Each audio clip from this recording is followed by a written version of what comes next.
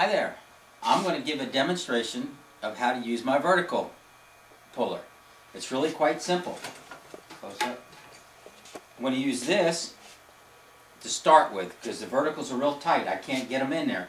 So I can take this and slip it underneath the vertical. It's attached to a rope. That rope goes down through the table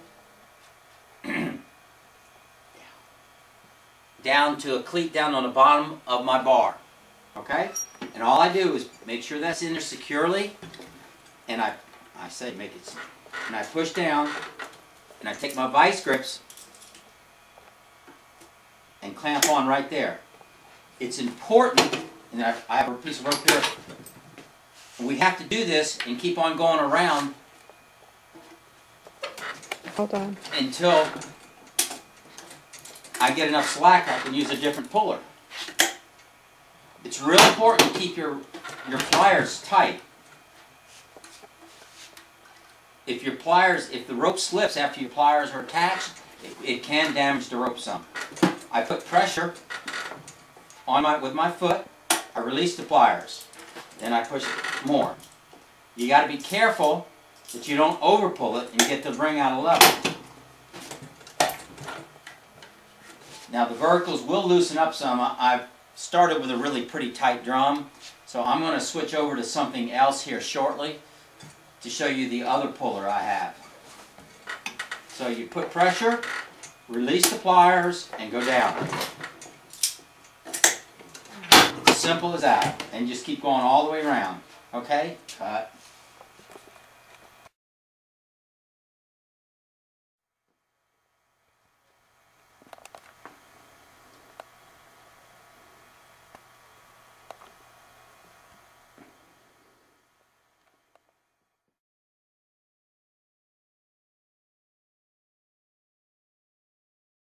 What do I do? It's black. Oh, there it goes. Start over.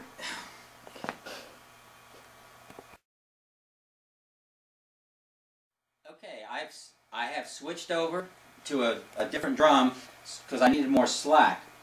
Instead of using this little flat cleat, I'm using this homemade cleat. Okay? And this is just something I use to help prevent the rope from ever getting cut. And it's real simple. I just put it like that, I twist, pull that, and then I pull down. Now you have to be careful you don't pull too hard. Then I clamp off, I do the same thing as I did before. I pull the rope around, I do this, I twist it, I say I twist it, and I pull down. Then release. And you just keep on going around. The, the, the reason I use this is to keep from cutting the rope. They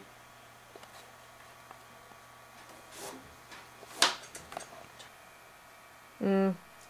Wait a minute.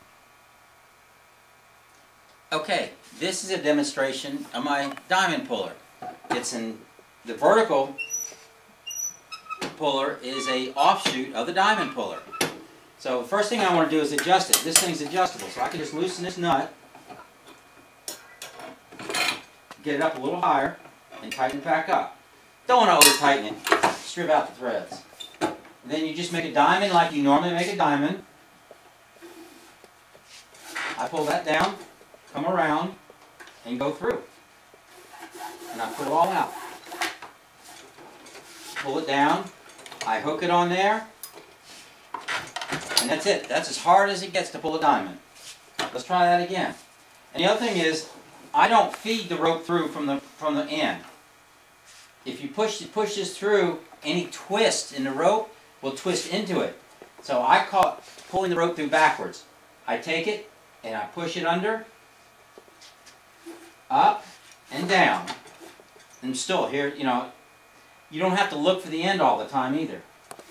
And just pull all the way through. Pull both of them at the same time. See the twist? They just come right out. Pull it down, hook it in, and bam. That's it. That's as hard as a diamond is. Okay, so we just make and keep making diamonds and just keep on going around the drum. get through pretty quick.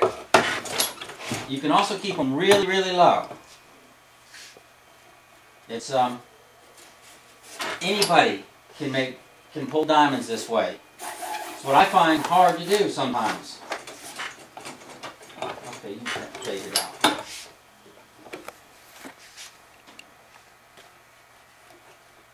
Turn it on. Oh, that's probably.